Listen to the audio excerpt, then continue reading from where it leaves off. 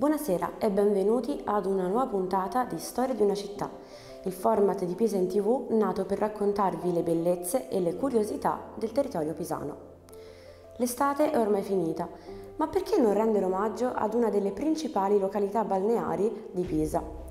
Un luogo magico che conserva la sua unicità e bellezza anche durante le stagioni meno calde. Percorrendo il viale d'Annunzio da Pisa a sud della foce dell'Arno, verso il mare, si arriva a Marina di Pisa, una piccola e ridente località nata come centro balneare nella seconda metà dell'Ottocento, ma già da molto tempo prima abitata da pescatori. Marina di Pisa si presenta incorniciata in uno scenario suggestivo da un lato la lunga curva dell'arenile della tenuta di San Rossore e il profilo delle Alpi Apuane e sullo sfondo la linea dell'orizzonte che sembra tuffarsi nel mare.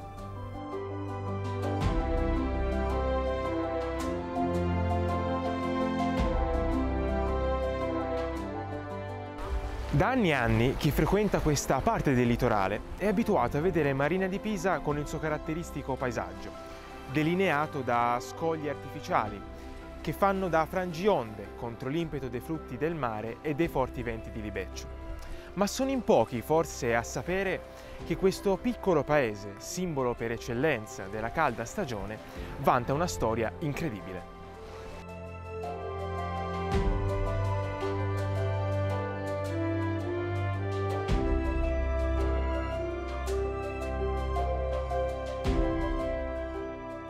Incredibile davvero. La storia di Marina di Pisa, infatti, già ribattezzata nel corso del XVI secolo Paese di Bocca d'Arno, inizia da uno sfratto. Non crediamo possa esistere termine più adatto per definire ciò che accadde.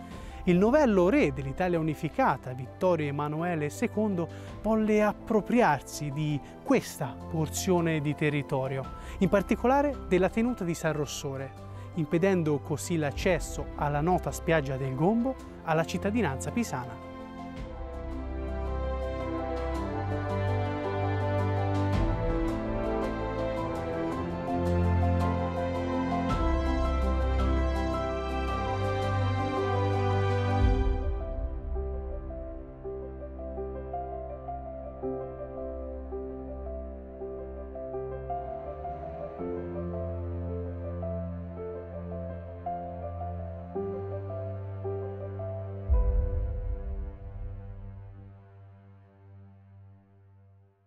Perché parliamo di sfratto?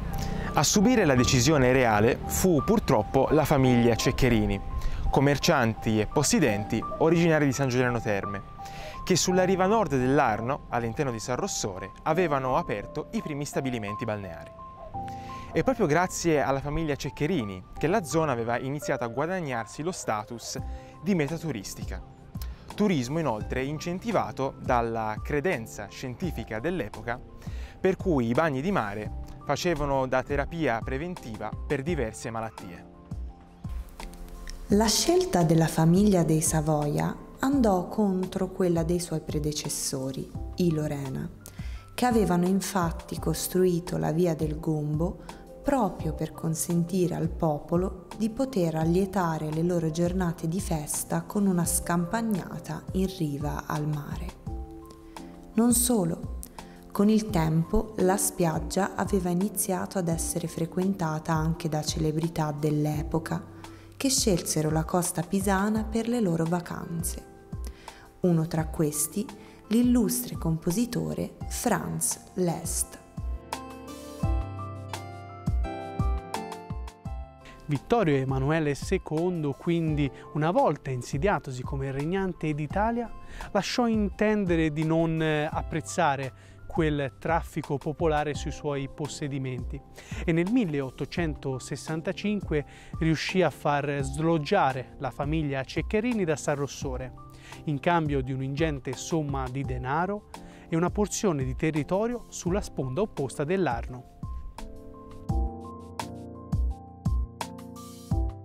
Quello che vediamo adesso è il viale d'Annunzio, la strada principale che porta dalla città a Marina di Pisa.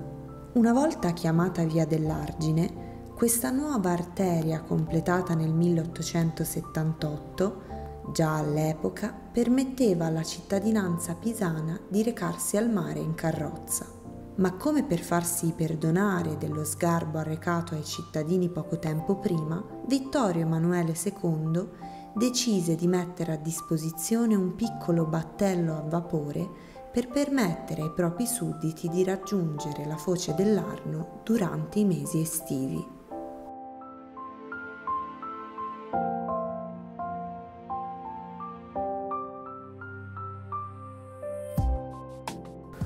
Non solo, un altro fondamentale mezzo di trasporto per le uscite fuori porta d'estate fece la sua comparsa nel 1892. Si trattava del popolare e cosiddetto trammino. Popolare perché è ricordato ancora oggi tra le persone nate tra gli anni 40 e 50.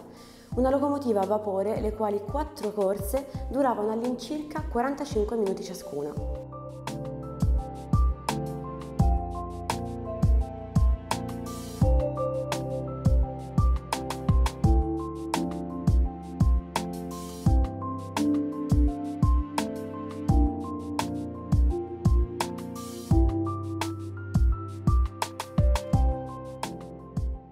Come già anticipato, Marina di Pisa, oltre che da semplici cittadini pisani, iniziò ad essere frequentata anche da personaggi di un certo prestigio.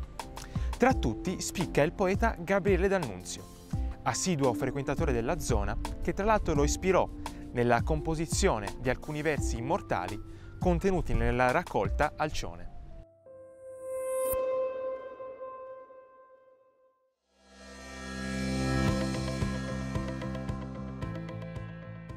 Bocca di donna mai mi fu di tanta suavità nell'amorosa via, se non la tua, se non la tua, presente, come la bocca pallida e silente del fiumicel che nasce in Falterona.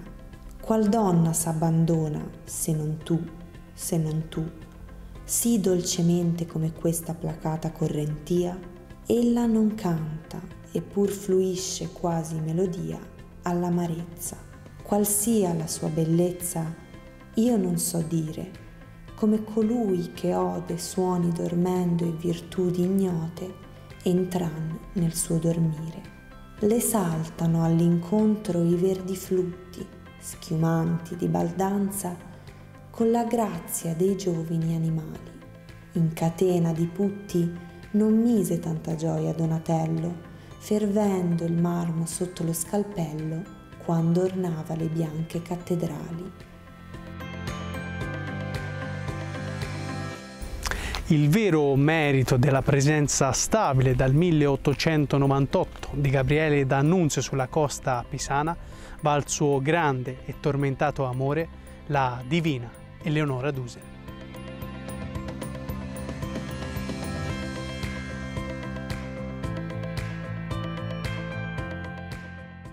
Quasi 20 anni prima, infatti, l'attrice aveva conosciuto la neonata Marina di Pisa in un suo momento di profondo sconforto e dolore personale, la perdita di un figlio, avuto da una precedente relazione e seppellito in terra pisana, per la precisione a San Piero a Grado.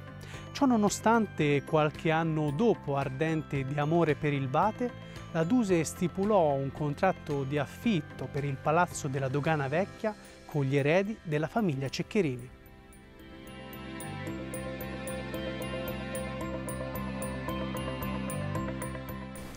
Se però parliamo del Palazzo della Dogana Vecchia, non possiamo non raccontarvi un'interessante vicenda legata alla storia di Marina di Pisa, partendo addirittura dagli Stati Uniti. Nel 1903, negli Stati Uniti, i fratelli Wright effettuarono il primo volo di un essere umano a bordo di un macchinario spinto da un motore a scoppio. Un evento straordinario. Poco più di un decennio dopo, nel 1917, su una porzione di terreno proprio intorno al palazzo della Dogana Vecchia, si installò un piccolo cantiere di proprietà dell'ingegnere livornese Gallinari. Nacque così la prima fabbrica di idrovolanti in Italia, che segnò per sempre la vita, l'immaginazione è anche il panorama di Marina di Pisa e dei suoi abitanti.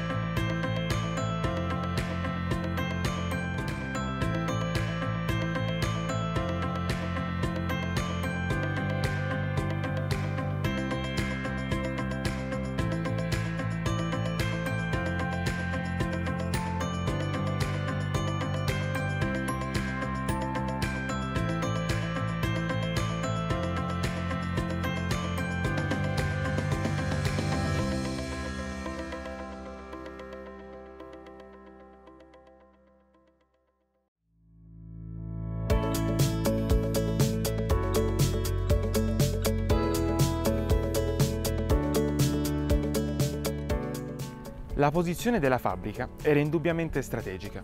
Trovandosi infatti vicino alla foce dell'Arno permetteva il collaudo, la partenza e l'atterraggio di ritrovolanti. Certo, la fabbrica e tutto ciò che essa comportava non si sposava bene con l'eleganza delle palazzine Liberty e degli chalet che caratterizzavano Marina di Pisa. Ma ormai a quel tempo la produzione di questi velivoli aveva raggiunto un'enorme importanza anche a livello europeo. Col tempo la neonata azienda riuscì ad imporsi come leader per la produzione di idrovolanti, sia d'uso militare che civile. Pensate che ad esempio nel 1925 l'esploratore Roald Amundsen partì per la sua famosa spedizione al Polo Nord proprio a bordo di due velivoli sfornati dall'impianto di Marina di Pisa. Ovviamente anche l'attenzione del regime fascista fu conquistata da questo centro produttivo necessario per sviluppare la sua idea di un corpo aeronautico di primo livello.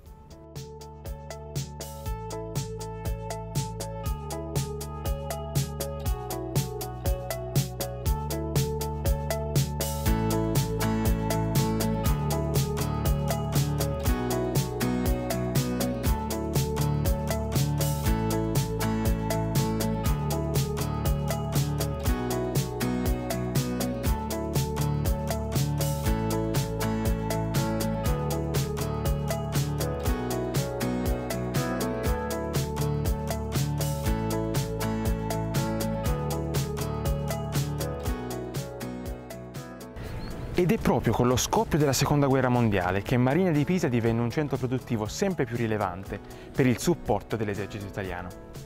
Anche per questo la zona fu pesantemente bombardata dagli alleati durante la liberazione del territorio pisano dall'occupazione nazista nell'agosto del 1944. Marina di Pisa questa splendida cittadina balneare, in quel momento storico fu obbligata a cambiare le proprie sembianze, da luogo di villeggiatura a centro di produzione industriale. La fabbrica, infatti, nel dopoguerra continuò a funzionare, rilevata dalla Fiat che in essa impiantò la produzione di alcuni pezzi necessari a realizzare i modelli storici della casa automobilistica torinese negli anni 50 e 60.